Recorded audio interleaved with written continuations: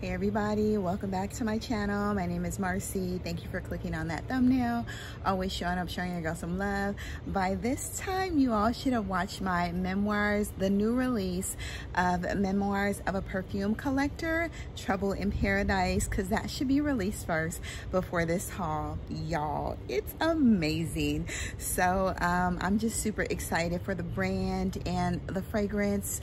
Um, Shadi is the perfumer, master perfumer um, amazing fragrances. He had his hand in Lovers as well by Fragrance Du Bois. And y'all, I absolutely love the fragrance and super excited. So go watch my review. I won't talk about it too much, but we have a fragrance haul today that um, I'm going to be talking about. I'm also going to do a single review on one of the fragrances I have from BDK as well. So maybe that one will be released tomorrow or within a couple days of the fragrance haul or before. I don't know, y'all. So anyway, just be looking out for the new Pas Ce Soir Extrait uh, perfume release I've been obsessed with two fragrances for the past like three to four days, y'all. And those are the two, BDK's Pas Ce Soir um, and and uh, Memoirs of a Perfume Collector, Trouble in Paradise, y'all. It is absolutely amazing, and you really need to get your nose on it. Um, I wish I could really, it's in my top 10 for life. It's in my top 10. It's in my top three summer fragrances. If I, summer fruity fragrances, um, it's sexy. It's, oh, it's just juicy. It's all of that. It is my number one mango fragrance today. Yes, it did knock Mango Skin out of the box. Uh, Cruz del Sur 2, those are still in line, but Trouble in Paradise is number one as of today or yesterday. Um, so anyway, y'all, let's get to this fragrance haul. Uh, please continue to like, comment, subscribe, turn on those notification bells, you know, all that good stuff. And, uh, you know, I hope you're subscribed, show your girl some love, and uh, let's get to it. So the very first one, I have not done an unboxing yet, but it is PR. Um, it was sent over to me from the brand. I did do a review. They sent me over a discovery set first. I did a review do uh, back in January, I think it was, or December. And then they sent me over this. This is wet cherry liquor. I wanted this or uh, the vanilla fragrance. And um, you guys, I love the note of cherry. So I decided to get the wet cherry liquor because their vanilla uh, fragrance almost reminds me of Spiritueuse Double Vanille. So that's in that box. I don't know what else is in that box, but I want to unbox it on Instagram first, you know, just to, you know, show them some love and appreciate everything that they sent me. The next one is by the House of Christian Dior, and this is Le Cour Noir. Uh, yeah, Le Cour Noir. Um, this fragrance has been on my list for the past couple of years, but I never pulled the trigger on it because I wasn't quite sure. So I did decide to buy the 120, 125 ml. Um, now there are, there's some rose, ooh, there's some fruity notes in here. Um, but the oud is beautiful inside. It's woody. Um, it's definitely feminine leaning to me. It's not unisex. To me, I see a lot of men wearing this. Um, and yeah, if you like uh, fruity, floral, slightly oudy, musky, woody fragrances, then it definitely holds that Christian Dior DNA. Now, this reminded me of another fragrance, and I was like, oh, it's almost, it's literally like close to the same. This gave me the DNA of Belle de Jour as well. So it's like a darker Belle de Jour with a little bit of oud, non-animalic, non-offensive oud in here. Uh, but it's beautiful. I love it. It's amazing all year long. Uh, La, Col La Cour Noire, I think it's pronounced. Um, get your nose on it, you know? I love it. Um, I really do. But it Belle de Jour is definitely sweeter, much more girlier, fun, flirtier. flirtier. This one's a little darker. Um, and it's a little, Belle de Jour is also powdery. It's like a sweet powdery scent. Um, get your nose on this, y'all. It's good. So the next one I have been so interested in since I went over to Harrods. I got tons of samples. I ended up purchasing Guidance when it initially came out, but I was also in love with Amouage's Lineage. I've worked on, I've I went through at least for 2 ml samples of this fragrance. I just wanted to make sure this is the one that I really wanted and I wanted it for the summer. This is the most amazing summer fragrance by the House of Amouage. Um, in this fragrance, it started out a little warm spicy. Um, initially when I sprayed it, I sprayed it in Harrods and it was super spicy. I think because I sprayed everything else or smelled everything else around it but it's absolutely stunning. It's gorgeous. I love, I've, I've loved Lineage at first sniff, but I'm completely in love with it now. So you get your saffron in here, you get some ginger. This is literally my number one ginger fragrance. I do love my New York by Bond number nine, uh, which is a really hefty ginger and rose fragrance. So if you love ginger, this is spicy. I was a little scared of the Szechuan pepper in here, but don't be scared because you literally get a lot of ginger, a lot of saffron, you get some woody notes, you get some marine notes in here. Um, those marine kind of blue aquatic notes blend so beautifully with the saffron and also it smells like there's ambergris in here as well. Um, I'm not sure if it is, but it's airy, it's salty, it's slightly sweet or creamy. Um, it's warm, spicy, and I love the ginger in this fragrance, and it's all the way through, you all. Um, get your nose on Lineage. Um, it is not a safe blind buy, you know, and you definitely must test this and wear it full body. This fragrance does not do just justice just testing on your skin. You have to wear this fragrance for the day. It is intoxicating. Um, it's beautiful, y'all. Lineage, get your nose on it, and the bottle is gorgeous. All right, the next one we're gonna talk about is one that you should have already watched the review on, and I'm not gonna talk about it long, and this is by Memoirs of a Perfume Collector. This is their new release that just dropped January the 24th. Um, the box is stunning. I love this sophisticated house. Sleek, sophistication, unique. They don't smell like anything else. None of their fragrances smell like anything else, and I absolutely love them. This is what you call exquisite niche perfumery. Um, it is stunning. Just the packaging, uh, simplicity, but beautiful, all in the same, you know, and the fragrances are gorgeous. Y'all know that I rave about Tales from Zanzibar that I absolutely love. Yes, it is my end all be all. I don't know which one I love the most. I love them both. I love the guava note in this one um, in Tales from Zanzibar. And in this one, it is called Trouble. You guys, look at the dent already. And I've only had it for a couple days. Um, it is called Trouble in Paradise and I love it. It is it is absolutely stunning. This is my number one mango fragrance today, you guys. There's mango, there's cognac in here, there's rum, it's boozy. You get the warm spiciness from the cardamom. Um, it doesn't literally smells, it doesn't smell like a drink, like a boozy drink like Tales from Zanzibar. But in here, there is the perfect amount of oud, the perfect amount of leather. Um, it's just, this fragrance is exquisite and is masterfully blended and it is absolutely perfect. I don't even know how, you know, Shadi, which is the perform, which is the perfumer, um, did a stunning job and an amazing job. The creative directors, um, Aki Ahmad, amazing job. Y'all, Tales from Zanzibar and this fragrance, these are lifers, lifers for me. Um, the mango in here is realistic. It's juicy. It's succulent. Um, there's nothing green about this fragrance, but the oud and the leather and the violet just add, adds the perfect amount of sophistication to this fragrance. And it transitions as well, y'all. Ooh, watch my review, okay? Trouble in Paradise by Memoirs of a Perfume Collector. You need to get your nose on this, okay? ASAP. I was so happy to love this because I didn't know what I was going to do, you guys, if I did not love it. Um, actually, go watch the live. We did a live, uh, fragged out, swagged out. Um, we did a live as well. And go watch the live. It's over on his page. Um, and I will try to link it in my highlights if I can. But if not, go to Fragged Out Swag, Swagged Out's page and watch the review and I will link all the pages down below. Follow Memoirs of a Perfume Collector. They have so many um, a new, new amazing and offerings coming. So many amazing offerings as well. Um, London is actually amazing. The vanilla in there. Uh, a Night in Marrakesh. Stunning fragrance. Beautiful coffee fragrances. So if you love coffee in your fragrances, check those two out. And I'm going to do an updated review. So um, yeah, y'all watch out for that, okay? All right, so the next one, um, these are just samples that I received from Dior and I've smelled uh, Dior Riviera before. You know, it's a nice fragrance, nice fig and rose fragrance. And uh, to me, I would not be purchasing. I didn't purchase a full bottle of it because, you know, um, it wasn't giving me a lot, but I do like it. I don't love it. So Dior Riviera was just a like for me, but it's a nice fragrance. If you love a clean, fresh, fig rose, very unisex, um, very airy, you know, just really refreshing and vibrant. Um, the next one we're going to talk about, and I'm doing a single review on this one as well, um, is BDK Pas Ce Soir Extra, y'all. Ooh, y'all. If you love Pas Ce Soir, you're gonna be head over heels for this fragrance right here, okay? I love it head over heels.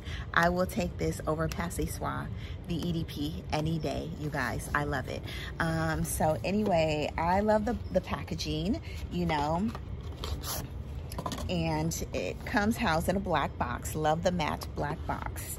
And this fragrance is projecting. It's, ooh, it's the performance is crazy you guys. Um, so yeah they they literally gave you what you asked for okay? Um Pas Ce Soir look at that bottle y'all. Ooh, the bottle is gorgeous you know but like I said you definitely get a you get Pas Ce Soir on steroids literally okay? So in this fragrance you have an additional note of cacao. It's more powdery it's projecting. You still get that beautiful scent of quince in here as well. Um, you get some jasmine you get some mandarin some ginger. Um, um, all of the goodness that the original Pas Ce Soir gave you, but more. It's a beast.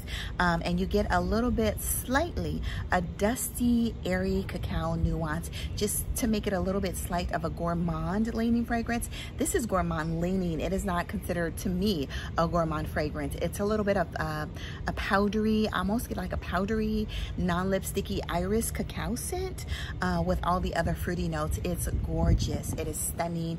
Get your nose on this BD, uh, BDK Pas Ce Soir Extrait. And yes, um, I did a review. Um, oh, there's a golf course back there, you guys. I did a review comparing the two, so get your nose on them. I absolutely love this one. This one gives you no alcohol in the opening. This one kind of slightly gives you that little bit of alcohol. Of course, this is, a, this is an extrait, so you have more oil. You don't get that in this one at all, you guys. Get your nose on this fragrance. Stunning, okay? Um, the next one we're going to talk about is literally a dupe that I shouldn't have purchased, but I did. And I don't know why, because I have the original. Um, but I was just so, you know, curiosity. I was so curious. Curiosity didn't kill this cat, but um, it's a nice fragrance. Um, this is Kismet's Angel. This is supposed to be a dupe of Kilian. It, and it literally is Kilian, the DNA, but there's also um, another fragrance in, in here as well. It's a little more woody, but you definitely get that Kilian DNA in here. And it's gorgeous. This is closer than the other fragrance that is supposed to be, that comes in the square box. Kiss, I can't remember the name of it, but you definitely get more of a Kilian. This is the closest Kilian dupe I've ever smelled. It's gorgeous, it's beautiful. Um, if you don't want to put out the funds for Kilian, I suggest that you get this one. I love it. You definitely get that sweet honeyed apple pie. Uh, it's gorgeous. Kismet by, um, is Angel by Kismet. All right, the next one we're gonna talk about, I ordered samples. I ordered my, um, my Narcos Oasis from uh, Dior Prestige. I don't know if it's pronounced Dior Prestige or Dior Prestige. And they sent me over Oligarque as a small sample. They sent me over Oligarque Unique. And y'all i fell in love with the sample. I kept sniffing it all day. Um they Oligarque only has two fragrances and i think one's called mastermind. Um anyway i ended up ordering both of them in 10 ml travel sizes. So i was like i have to get my nose on these fragrances. And initially i was going to purchase a full bottle of of unique but i was i've been buying too many fragrances y'all. So i ordered mastermind which is a beautiful scent you know, uh, order a travel size or order a sample from them. And I ordered uh, Unique, Iqoniqe, sorry, not Unique. It's Oligarque Iqoniqe. Oligarque Iqoniqe is intoxicating. It's alluring. It's amazing. I'm going to do like a separate review on these two fragrances, y'all. But when I kept, when I smelled the 2 ml sample that they sent me, y'all this is so freaking good i love it and yes i am going to get a full bottle when i'm done with this It is good. It is gourmandish leaning. It is fresh. It is airy. It is fruity. There's some caramel in here. There's a little bit of powdery notes in here. Y'all, not too powdery though. Creamy, lactonic. I think there's milk in here. Y'all, this fragrance is so, it's amazing. And this is Oligarque Iqoniqe. Get your nose on it, order a sample. I love it and I want a full bottle of Iqoniqe. Uh, Mastermind is amazing as well, but the one I want a full bottle of is Iqoniqe. I think it's Iqoniqe. Yes, Iqoniqe. Gorgeous fragrance. Um, I don't hear too many people talking about Oligarque. I did, uh, after I purchased these fragrances and I fell in love with Oligarque, I did YouTube and I saw that Steven Redolessence did a review on this fragrance house um, like I said, they only have two fragrances and he loved Oligarque as well. And I love it too, you guys. Get your nose on it, sample it. You can order from Dior Prestige. I will link the information down below, you guys. This fragrance, ooh, it is so good, you guys. Um, and it's called, I keep saying it's called Oligarque. The fragrance house is Oligarque, but it is called Iqoniqe, okay? Um, yes, I did. You guys already saw my review. I have the two Kayali's stunning. Please come out with a 100 ml bottle Kayali because I absolutely love this. Silk Santal, Peachy Nectarini sandalwood, fresh, freesia, airy, gorgeous, you know, um, backup bottle worthy. I love this stuff. I love, love a note of freesia and I love nectarine or a peachy scent, you guys. But the sandalwood in here, the freshness, it's juicy, it's silky, it's sophisticated, it's amazing. And uh, Velvet Santal is stunning as well. You guys watch my Kayali review. I love both of these, but I really want a 100 ml bottle of this, a 200 ml bottle. That's how good this fragrance is, you guys. Get your nose on it. The next one uh, we're gonna talk about is one that initially I sprayed and I was like, oh no, this is definitely a declutter. But I sat with the fragrance and then I wore it for a day. And I was like, you know what? This transitions beautifully, beautifully. In the opening, it's a little screechy, very woody, very sharp. But then as it dries down on your skin, it is absolutely gorgeous and I do love it. Um, am I in love with in love with it not yet but i do really love it in the dry down um, and this is argos and what's the name of this fragrance, y'all? The I think it's um, Pallas Athene. I was gonna say Platine. Uh, this is Argos Pallas Athene. Um, of course, Nisha talks about this. Jax at Jax Beauty Station talks about Pallas Athene, but there is a sharpness to this fragrance. But it's a it's a beautiful sharpness, you know? It's pretty. I think there's raspberry, rose. It's woody. And the woodiness, I think that's what I like about this fragrance. You know, slightly green, a little earthy you know, but it's beautiful. I love it. It's unique and I don't have anything like this in my collection. Um, but the raspberry in here, the rose in here, um, the woodiness in here, it's real woody, but I like a woody fragrance, especially if it's bringing something more beautiful and feminine and juicy as well. It's juicy, y'all. Uh, but Pallas Athene, I'm absolutely glad that I do have this in my collection. Not a safe blind buy, even though I did. Um, get your nose on this and the bottle is absolutely gorgeous, you guys. Get your nose on this fragrance. Gorgeous this bottle. I do have Triumph of Bacchus and then another one as well. All right, the next one we're gonna talk about is Hip Hop, um, and this is by Zernell Guy Gillie. I always say Giley because I've been calling him Giley for years. He has disco and techno, which I absolutely love. This one is my favorite. I loved disco until he made techno. Then I, I now love hip hop before I love hip hop, like out of all of them, y'all. It's a fruity, floral, ambery, slightly gourmandish leaning scent. I'm gonna do a separate review on this fragrance, um, just a single review, because I wanna review all three of his fragrances together. Hip Hop by Zernell Gillie, y'all, get your nose on this fragrance. I think he does have samples, absolutely love it. All right, the next two fragrances we're gonna talk about, and I'm gonna do an updated re review on these houses. This is Tutu Blanc. Um, this is a new purchase. I told you guys about Fragrance Buy. Um, I purchased this for 110 on Fragrance Buy. Love Tutu Blanc. I've sampled this before, and y'all, I know I have gone back on my word, and it's it's I could probably count on five times on YouTube how many times on one hand how many times I've gone back on my word and this is one of those times. Um, I have Duchessa I am not thinking of it as a cherry fragrance because I don't get a lot of cherry in here. I get a lot of saffron loads of saffron and y'all know that saffron is my favorite fragrance note. So yeah this will not be featured in my cherry fragrance review per se, but when I spray this, I get tons of saffron, you guys. So anyway, I do have Duchessa, like a steal of a deal on Fragrance Buy. I purchased this one for I think like 160 it was US dollars. So it had to come home with me, y'all.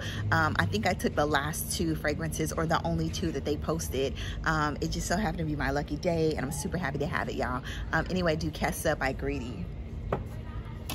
The next two, I went to a fragrance launch for Fragrance Du Bois. Um, lovers at Beverly Hills Perfumery and y'all I fell in love with Ormonde Jane Levant. Levant is stunning. Levant it's in a top 20 for life okay um, I love it yes it kind of gives you like a almost like an Oriana, Delina, but there's something else in here. Orange Blossom. This is like one of the most beautiful Orange Blossom fragrances. Um, aside from the one that Abby talks about and the one from Dries Van Noten. Y'all, this is like one of my favorite Orange Blossom fragrances. I love it. It's absolutely amazing.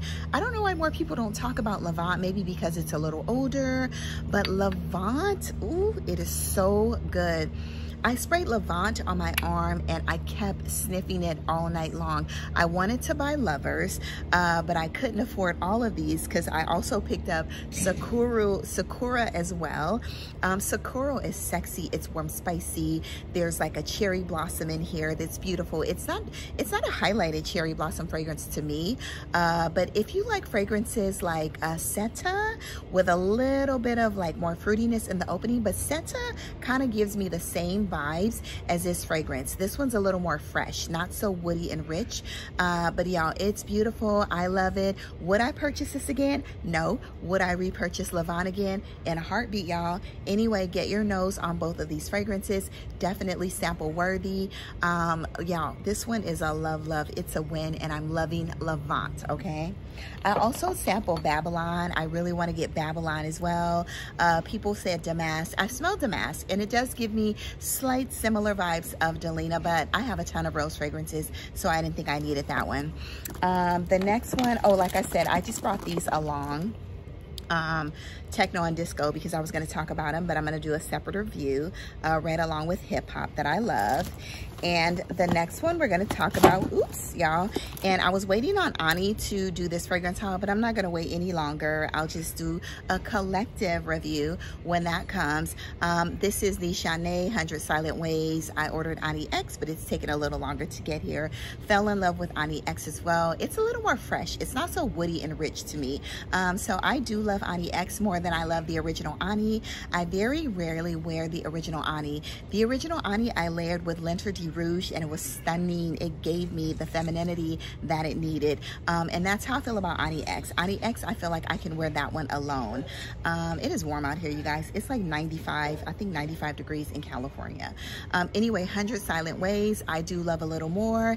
Um, it's, a, it's not giving you, in 100 Silent Ways, it gives you the original, the EDP. It gives you a little more fruitiness, um, a little more earthiness, freshness, and the opening. This one gives you all of that, but you get like a little bit of a suede not really to me a leathery nuance but a little more of an irisy suede nuance a creamy nuance um, i love this i don't want to talk about it too long but i'm definitely going to do a full review and a comparison on ani x and 100 Silent Ways X in addition to my Nishane fragrances, you guys. All right, that is all. I will not keep you long. Um, anyway, go out to the world, spread amazing sillage, do good, be good. And like I said, it is warm out here, but I wanted to, you know, I match the trees, okay? So why not be outside? And there is a beautiful breeze every now and then, y'all. But y'all, if you had to get three fragrances today that you needed to get your nose on, it needs to be Trouble in Paradise. It needs to be Pas Ce Soir Extrait. And it needs to be Oligarque's um, Iqoniqe, okay? those are my three favorites today that I'm absolutely loving you guys. Go on to the world, spread amazing sillage, do good, be good, and be looking out for some single reviews, okay? All right, love you all. Bye-bye.